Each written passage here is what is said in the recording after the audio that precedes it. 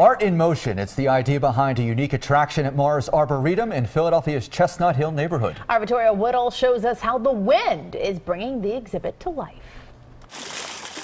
On such a hot day, why not check out some cool sculptures? The Morris Arboretum has over 50 brand new sculptures putting the wind to work. The kinetic sculptures are just so calming.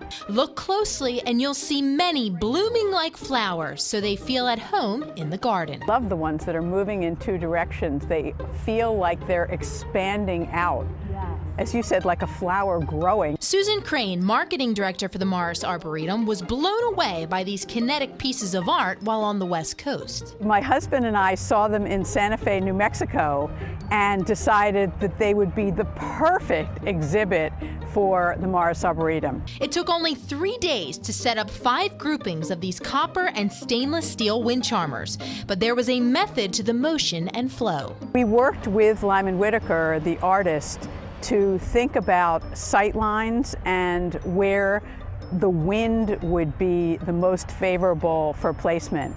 And the groupings of them, he calls them wind farms. Placing them in groupings really gives you a wonderful sense of calm and it's very mesmerizing to look at so many at once. These kinds of sculptures, adults can appreciate them from the standpoint of their artistic appeal, their aesthetic appeal, and kids can just think that they're fun. One, two, three, run to your Ryan and Luke's mom, Billy Joe, says it gives her kids a sense of appreciation for nature and all that it can do. I think it gives them something else to look at and to really be able to see the wind instead yeah. of just feel it. There's such a nice refuge from the busy world that everybody lives in.